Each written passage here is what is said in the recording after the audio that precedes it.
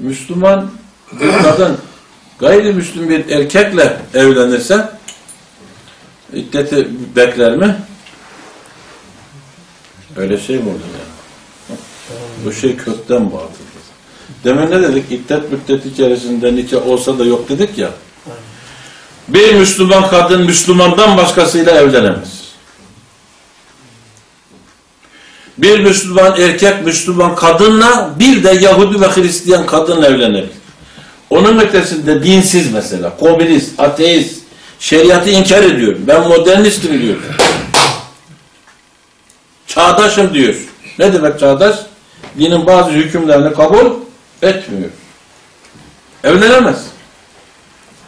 Bir erkek o kafir kadınla evlenemez.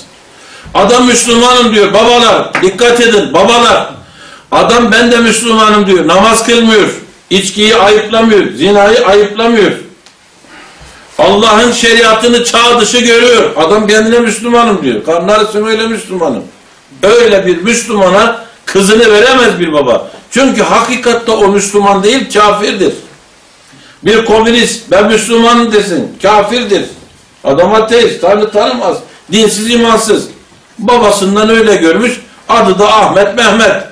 Hiç önemli değil adının ne olması. Bu kafir olduğu için bir Müslüman baba kızını ona veremez. Sonradan öğrendi. Böyle bir adam mı çekip almak zorundadır. Kızım. Zinaya göz yumamaz.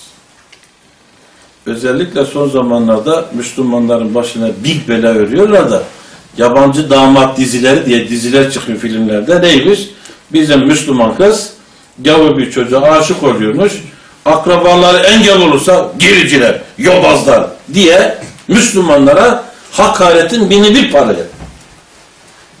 Hakaret. Kendi televizyonumuzda hakaret görüyoruz. Allah'ın emrini küçük görüyor. Kim bunu böyle düşünüyor? Allah'ın emrinden dolayı bir Müslümanı küçük görüyorsa kafirin ta kendisidir.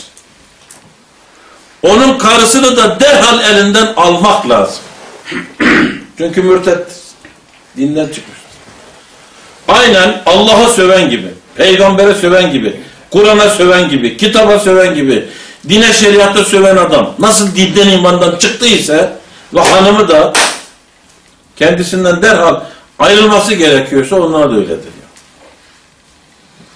Hocam sonradan geri Müslüman olursa, ha tövbe eder, pişman olur.